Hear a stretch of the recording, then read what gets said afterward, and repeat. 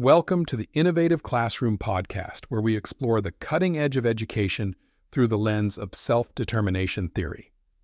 I'm Brad Flickinger, a middle school technology teacher passionate about empowering students to take control of their learning journey. In each episode, we'll dive into practical strategies, inspiring stories, and expert insights to help you transform your classroom into a hub of creativity, autonomy, and student success. Let's innovate together. This episode is entitled Autonomy versus Dependency. In the heart of every great educational transformation lies a fundamental choice to cultivate autonomous learners or to foster dependent consumers of information. This decision carries profound implications for the future of education and, more importantly, for the students themselves. As we embark on a journey to explore the power of micro-credentials in motivating students to become self-directed learners, it is imperative to first understand the pivotal role autonomy plays in the realm of education. Autonomy is not merely a buzzword, it is the cornerstone upon which a lifelong love for learning is built. Traditionally, the classroom has often been a place where knowledge flows in one direction, from the teacher to the students. This paradigm of dependence, while effective to a certain extent, can inadvertently stifle the innate curiosity and creativity that resides within each student. The relentless stream of lectures, assignments, and examinations can sometimes leave little room for exploration, creativity, self-discovery, and genuine engagement. Imagine a world where students are not passive recipients of knowledge, but active architects of their own learning journeys. Such a world, they don't just memorize facts for the next test.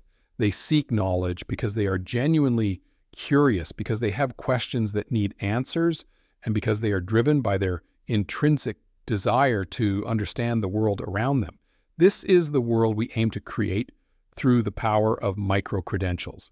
Micro-credentials, those bite-sized competency-based certifications, are more than just tokens of achievement. They are a catalyst for autonomy.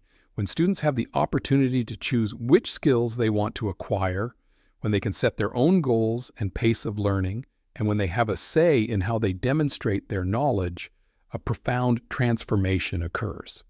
They become active participants in their education, not passive observers.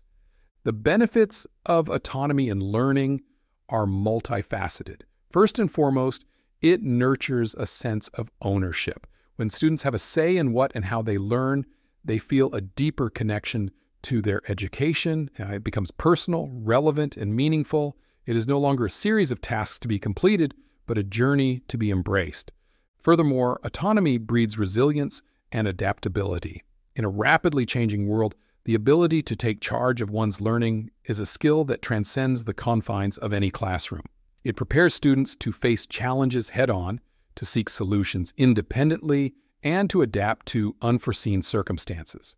Perhaps most importantly, Autonomy fosters a love for learning that extends far beyond the classroom walls. When students discover the joy of exploring topics that genuinely interest them, when they realize that learning is not confined to a specific time or place, they become lifelong learners, driven by curiosity and a thirst for knowledge. In the pages that follow, we will delve deeper into the world of micro-credentials and explore how they can be harnessed to empower students to become self-directed learners. We will hear from educators, students, and innovators who have embraced this paradigm shift in education and witnessed the transformative impact it can have. But before we embark on this journey, let us remember the significance of autonomy in learning. Let us recognize that it is not just a choice, but a responsibility. A responsibility to nurture the next generation of thinkers, creators, and problem solvers who will shape the world with their knowledge, curiosity, and unwavering independence. Thank you for tuning in to the Innovative Classroom podcast.